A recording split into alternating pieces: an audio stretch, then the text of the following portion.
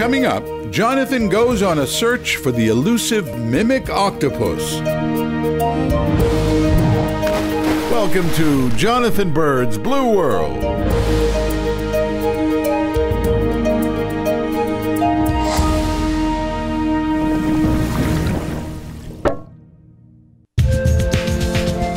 Previous season of Blue World, I traveled to Dumaguete in the Philippines for a week diving with Atlantis Dive Resort in a search for an elusive octopus known as the Wunderpus.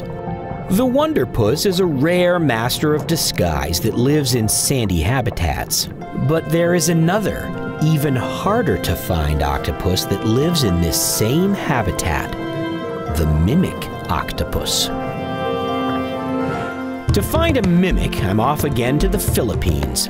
But instead of Dumaguete, this time I'm heading to the rich biodiversity around Puerto Galera. In the village of Sabang, nestled along the beach, are a bunch of dive resorts, and I'm heading to my favorite, Atlantis. The facility is a luxury dive resort catering to discerning divers like me. It's nice. And most importantly, it's right on the water. As the crew readies our boat for the day, the divers set up their gear. I check my nitrox, and then our dive master Felix gives us a dive briefing. Somebody get about 10 minutes if you can. Well, I've been diving in a lot of places in the Philippines, but never Puerto Galera. This will be my first dive here, and I can't wait to see what we can find. They pull the boats right up on the beach for easy access. Today, I get to share a boat with my good friends Howard and Michelle Hall, who are sporting their new Blue World hats. With our friend Ed Stetson and Zach of All Trades filming, we're off.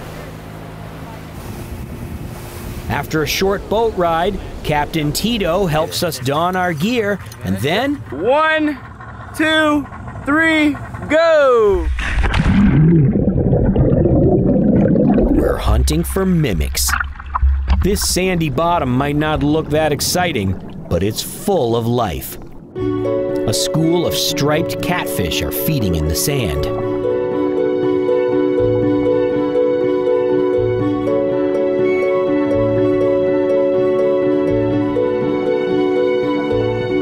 Nearby, a seahorse doing its best to look like algae. It's so easy to miss these little guys. You have to look closely at everything you see on the bottom. I move over to a small patch of coral to film some beautiful crinoids, which are plankton feeding cousins of sea stars. Then I find a nudibranch that looks like it has a bunch of dreadlocks. And on the dreadlocks are little patches of algae called zooxanthellae.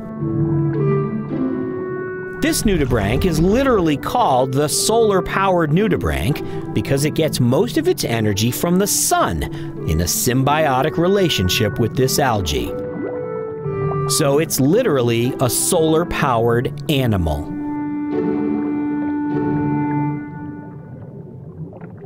I catch the shape of two eyes.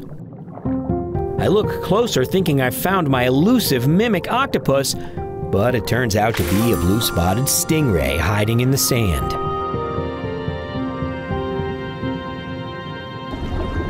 It's amazing what you find when you're not looking for it. I stumble across a tiny wunderpus. You can tell it's a wunderpus because of its pencil thin arms and orange colored bands.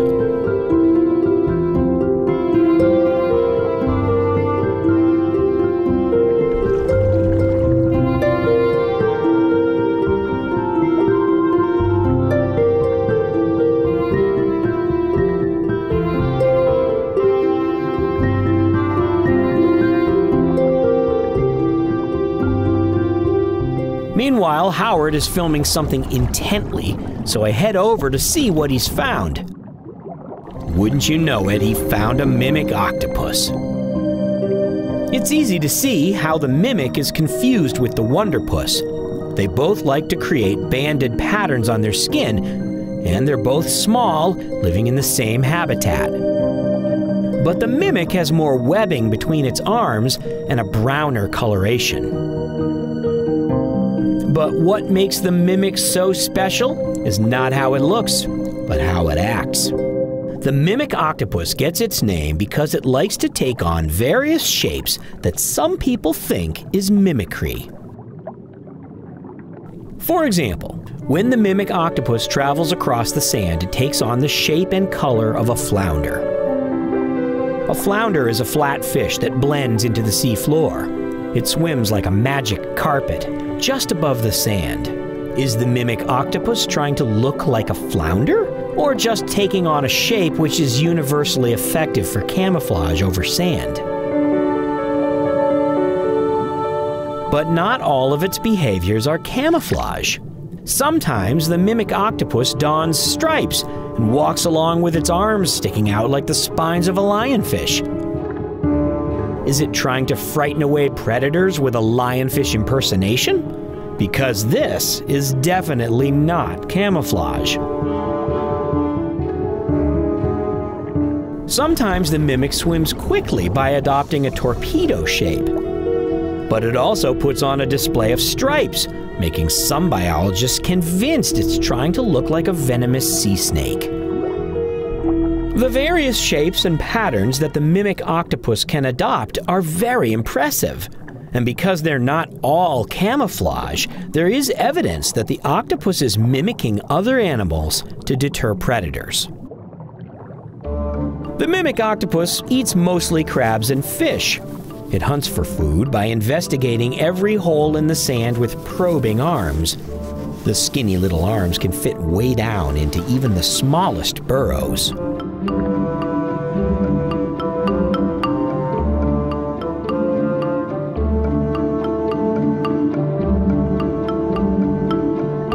Like most octopods, the mimic can create an ink cloud. This dark cloud is meant to distract predators.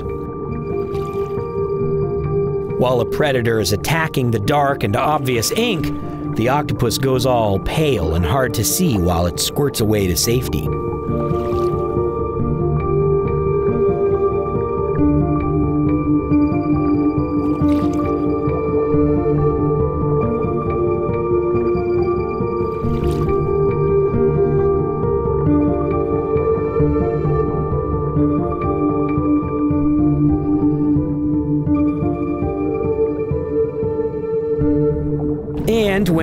Cinematographers just get too annoying, the octopus can bury itself in the sand and hide.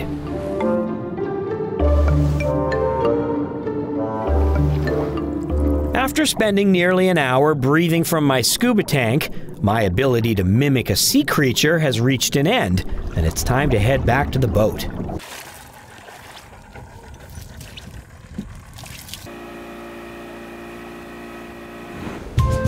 Galera is a scuba diver's paradise with a wide variety of marine life for underwater photographers and critter lovers. The mimic octopus and wunderpus are just two of the exotic creatures to be seen here. The reefs contain a variety of healthy coral and marine animals. I could spend a month diving Puerto Galera and never get bored. It's no wonder Puerto Galera is so popular with divers. There's so much to see in a small area. It's one of the best places to see weird and wonderful critters in the blue world.